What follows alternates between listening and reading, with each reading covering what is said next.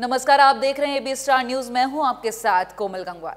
रुक करते हैं आज की खबरों की तरफ़। बल्लभगढ़ में बीएसपी कार्यकर्ता सम्मेलन के दौरान खूनी संघर्ष में एक व्यक्ति घायल हो गया, जिसके बाद उसने पुलिस थाने में शिकायत दर्ज कराई। बल्लभगढ़ में बीएसपी कार्यकर्ता सम्मेलन के दौरान हुए खूनी संघर्ष में घायल हुए व्यक्ति ने थाने में शिकायत दर्ज कराई है। पीड़ित ने थाने में कई लोगों के खिलाफ शिकायत दर्ज कराई है। पीड़ित ने आरोप लगाते हुए बताया कि उन पर हमला बीएसपी उम्मीदवार सुरेंद्र वशिष्ठ ने कराया था।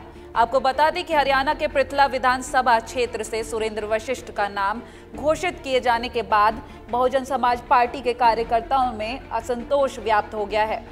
पार्टी महासचिव सतीश मिश्र की उपस्थिति में कार्यकर्ताओं के बीच जमकर लाठी और डंडे चले। ये उन्होंने हम पे हमला किया जी खाना कहाँ पे क्या हुआ ये बल्ला जी क्या कार्यक्रम था? किसका कार्यक्रम था? कार्यक्रम था जी सुरेंद्र वशिष्ठ का जी।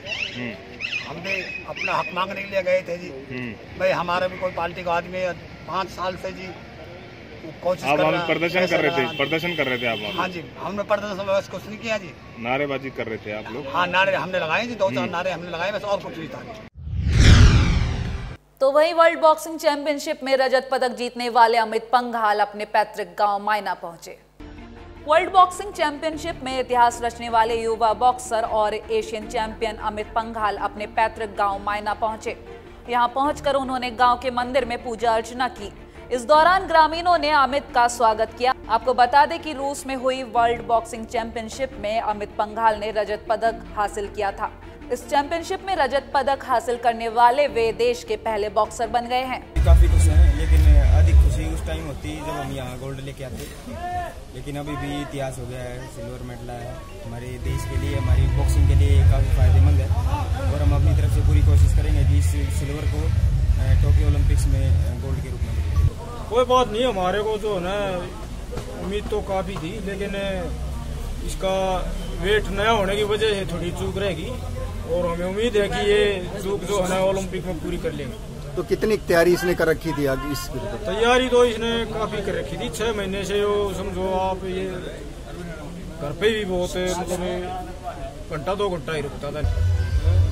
इतिहास रचने की तैयारी में थे जी ये तो इस इतिहास को मैं ओलंपिक मेडल के रास्ते में एक पड़ाव कहता हूँ बीच में आगे संभलने का मौका मिलेगा हमें।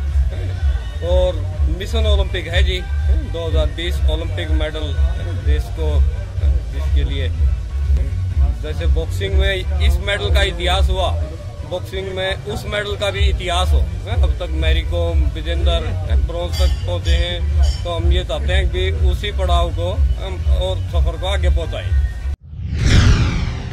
प्याज की बढ़ती कीमतों ने देश की जनता को रुला दिया है। आपको बता दें, इसको लेकर देश भर की गृहणियों का कहना है कि प्याज की बढ़ती कीमतों की वजह से किचन के दाम ऊपर बढ़ते जा रहे हैं। अब उन्हें प्याज के बिना ही काम चलाना पड़ेगा।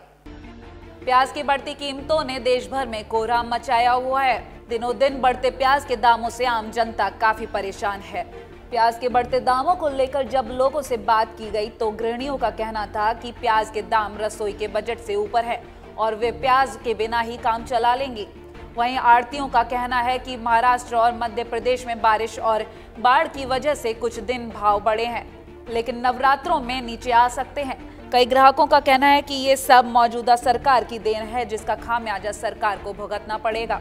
मेरा अम्बाला कैंट में रेलवे रोड पर ढाबा है।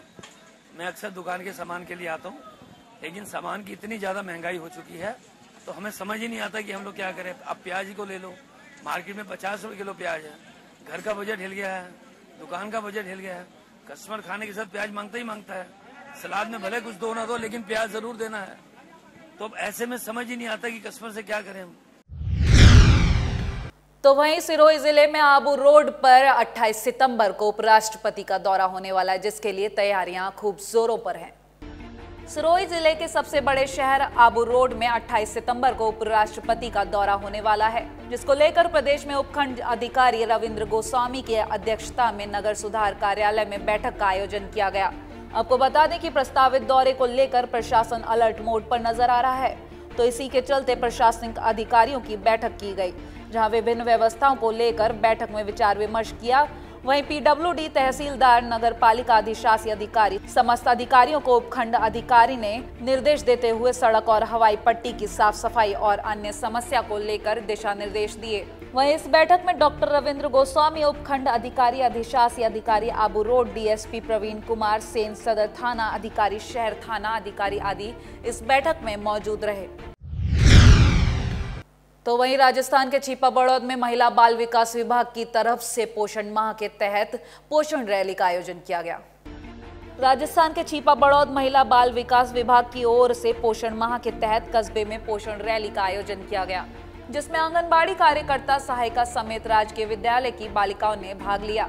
आपको बता दें कि रैली का शुभारंभ एसडीएम राम अवतार बरनाला, बीडीओ महेश गर्ग और महिला बाल विकास अधिकारी प्रेमचंद मीना ने पंचायत समिति परिसर से किया।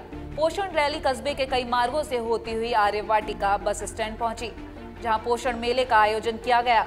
आंगनबाड़ी कार्यकर्ताओं ने रंगोली बनाई, जिसमें गर्भवती महिलाओं की गोद भराई और छह माह के बच्चों का अन्नप्राशन किया गया। वहीं कई तरह की आहार प्रदर्शनी भी लगाई गई। कार्यक्रम में संबंधित थानाधिकारी विजेंद्र सिंह जादौन और अन्य कार्मिकों समेत आंगनबाड़ी कार्यकर्ता और आशा सहयोगियाँ मौजूद रहीं। रैली मार्ग में यातायात व्यवस्था को लेकर जवान भी मौजूद रहे। उधर राजस्थान के जालौर में भी पोषण माह के तहत मेले का आयोजन किया गया। जालौर जिला मुख्यालय पर बहुउद्देशीय हॉल में राष्ट्रीय पोषण अभियान के तहत बाल विकास विभाग की ओर से पोषण मेला का आयोजन किया गया। जिसमें आंगनबाड़ी कार्यकर्ताओं ने पोषण मेले में रंगोली प्रतियोगिता, व्यंजन प्रदर्शनी और महिलाओं को पोषण आहार वितरण किया। वहीं इस पोषण अभियान के तहत जीवन में उचित भोजन करना और साफ़ शुद्ध पानी पीने की जानकारी दी गई।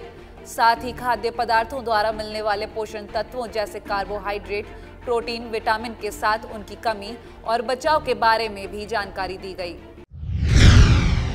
फ़िलहाल के लिए इतना ही। देश और दुनिया की तमाम खबरों के लिए बनी रही एबी स्टार न्यूज़ के साथ। तब तक के लिए नमस्कार।